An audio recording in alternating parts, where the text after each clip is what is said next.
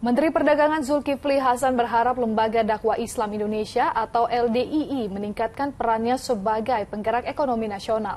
Untuk itu, Mendak mengajak LDII mengembangkan program seribu warung UMKM. Dalam kunjungan ke Pondok Pesantren Al Furqon di kawasan Cimone Karawaci, Kota Tangerang, Menteri Perdagangan mengajak Lembaga Dakwah Islam Indonesia atau LDII meningkatkan produktivitas baik dalam bidang pendidikan maupun ekonomi. Bahkan Mendak secara khusus mengajak LDII meningkatkan perannya sebagai penggerak ekonomi nasional.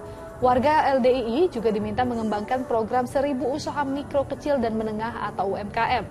Menteri Perdagangan yakin program seribu warung UMKM akan mampu meningkatkan perekonomian secara nasional. dengan LDI bidangnya apa? Entrepreneur, kewirausahaan. Agar eh, sekolah-sekolah LDI ya pondok-pondoknya selain mendidik untuk ilmu agama eh, juga kita latih untuk entrepreneur. Jadi biasa bisa ustadz tapi juga pintar berdagang.